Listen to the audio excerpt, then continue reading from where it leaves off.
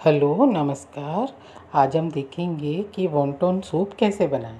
इसके लिए मैंने ये प्याज, लहसुन, हरी मिर्ची और कड़ी पत्ता लिया है, जो कि बारीक बारीक काट लिया है। अब थोड़ा सा ऑयल लेते हैं और ऑयल को अच्छे से गर्म होने देते हैं। जैसे ही ऑयल हमारा गर्म होगा, जब तक हम चिकन की तैयारी कर लेते हैं। ये देखिए, चिकन है ये। ये थोड़ा सा दो गिलास पानी डाल के ये मैंने बॉईल कर लिया है।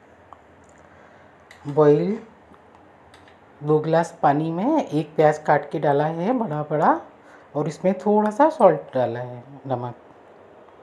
जब तक इसको रख दीजिए और इसमें एक पत्ता डाला है और ये काली मिर्ची है और एक लौंग है। और इसको ढक के रख देते हैं जब तक हम अपनी दूसरी तैयारी कर लेते हैं। ये देखिए ऑयल हमारा गर्म हो गया है, एक बे लीफ डालेंगे, पत्ता, तेज पत्ता। और ये लहसुन डालेंगे एक मुट्ठी भर के। ये बारीक लहसुन है, कटा हुआ। इसको सॉटे कर लीजिए गरम। अभी हमारा फ्लेम हाई है। ये मस्टर्ड ऑयल है, आप कोई भी ऑयल ले सकते हैं। अच्छे से इसको सॉटे कीजिए। ये देखिए, जब तक ये हमारा हो गया है। अब इसमें हम ये कड़ी पत्ता डालेंगे, जो कि है ना, चॉप किया हुआ है। जूलियन बना के इसको काट लिया है। और इसमें हरी मिर्ची डालेंगे, चार पाँच हरी मिर्ची डालेंगे कटी हुई। और इसको भी भून लेते हैं हम। ये देखिए, अच्छे से भून गया है ये।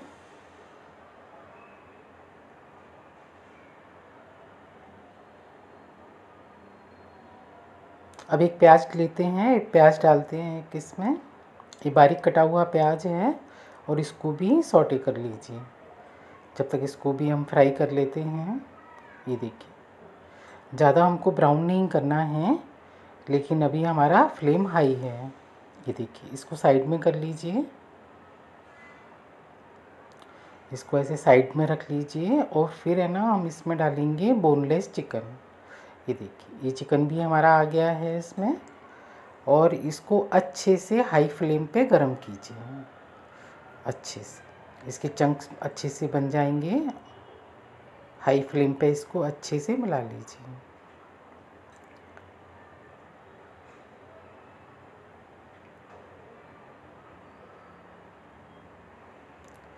ये देखिए, अच्छे से हो गया है हमारा चिकन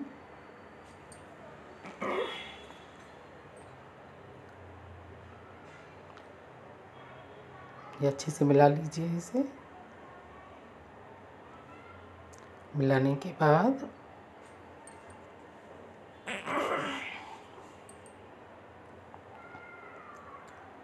अब इसको अच्छे से मिला दीजिए इसमें। ये अच्छे से मिल गया है। ये देखिए, है ना? ये बहुत टेस्टी बनता है और ये बच्चों को बहुत पसंद आता है। ये देखिए, ये हमारा चिकन और ये मसाला हमारा रेडी हो गया है। अब हम डालेंगे इसमें थोड़ी सी प्याज, जो कि बचा के रख ली थी मैंने, क्योंकि इसकी स्मेल है ना, नहीं आती है इससे। चिकन की जो स्मेल होती है ना, वो नहीं आएगी फ्लेवर आएगा इससे। थोड़ी सी हम ऊपर से इसमें कच्ची प्याज डाल दी है। ये देखिए, हमें भूनना नहीं है, ज़्यादा है ना, सुखाना नहीं है, बस हाई फ्लेम पे इसको हम सॉटे कर रहे हैं। अब हम डालेंगे जिंजर गार्लिक पेस्ट ये देखिए। और इसको भी गर्म कर लीजिए। इसको ऐसे थोड़ा सा गर्म हो जाए, फिर हम इसमें मिलाएँगे इसको। अगर डायरेक्ट मिला देते हैं तो इसमें जिंजर गार्लिक की स्मेल आ जाती है। फ्लेवर नहीं आता है। अब थोड़ी सी हम रेड चिली डालेंगे। लाल मिर्ची पाउडर डालेंगे। थोड़ा सा ज़्यादा नहीं।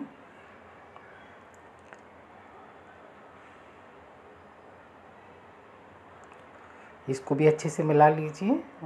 ये देखिए और थोड़ी पिंच हल्दी डाली है, ये देखिए।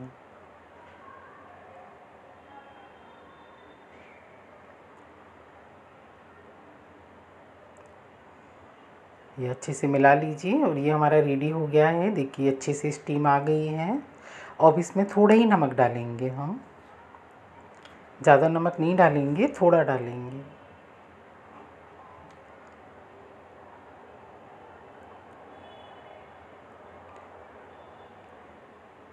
देखिए। ये मसाला अच्छे से मिल गया है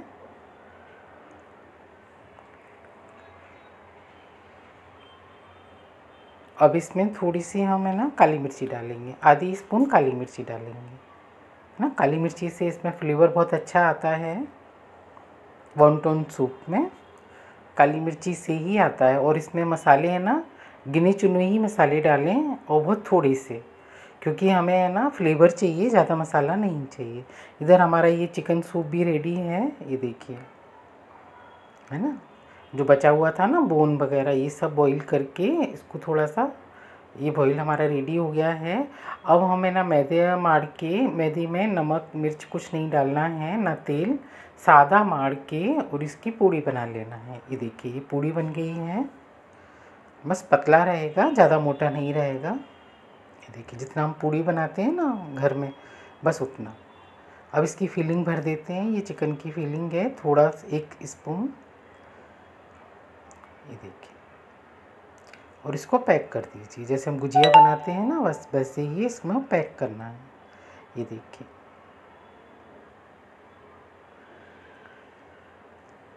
बस ध्यान रखना है, ज़्यादा गीला नहीं होना चाहिए। मैदा नहीं तो ज़्यादा गीला होने से उसका टेस्ट है ना कम हो जाता है। जब वो बॉईल होगा ना तो फिर वो फ्लेवर नहीं आएगा। ये देखिए, ये हमारा इस शेप में रेजी रेडी है। मैं दूसरी भी बना के देख रही हूँ। ये देखिए। जो गुजिया की शेप में भी रख सकते हैं आप, लेकिन वॉन्टोन सूप का इसमें शेप ही मैटर करता है।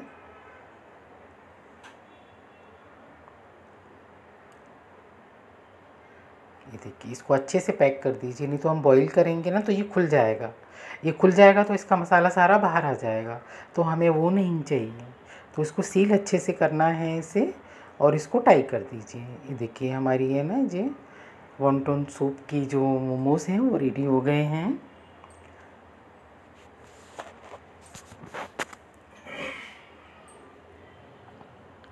ये है ना गर्म पानी रख दिया था मैंने पहले ही बॉईल हो गया है, अब इसमें डाल दीजिए वन बाई वन ये छः डाल दिए हैं मैंने, और इसको थोड़ा सा ढक के रख दीजिए ताकि ना एक बॉईल आ जाए इसमें अच्छे से।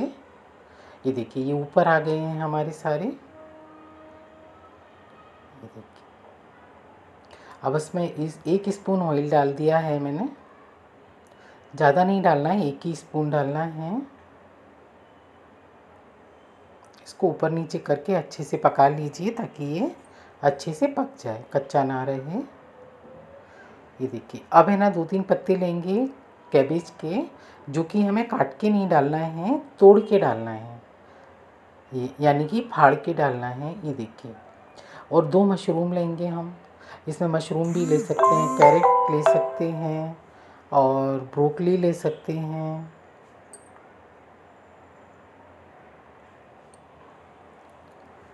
ये मशरूम ले लिया है और इसमें डाल दीजिए उबलते हुए पानी में। ये देखिए, अभी इसको मिलाना नहीं है। अब इसके ऊपर काली मिर्ची का पाउडर रख दीजिए। तो इससे फ्लेवर बहुत अच्छा आता है और जो हमने चिकन का सूप बॉईल करके रखा था ना, इसमें वो भी डाल दीजिए। ये देखिए, जो नीचे का रह जाता है ना, वो नहीं डालना है। बाकी ऊपर ऊपर से उठा के इसमें डाल दीजिए। इससे इसका फ्लेवर है ना अच्छा और बढ़ जाएगा। और एक अच्छे से बॉईल कर लीजिए। और ये कैप्सिकम है ग्रीन वाली, इसमें रेड वाली और येलो वाली भी डाल सकते हैं।